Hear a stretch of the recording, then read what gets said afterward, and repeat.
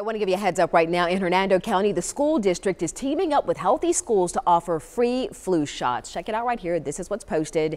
With your permission, your child will get a flu shot during the school day. However, you have to register to get this done. You have until Monday to do so. If you're interested, we've got the information posted right now in this article that you can find on abcactionnews.com.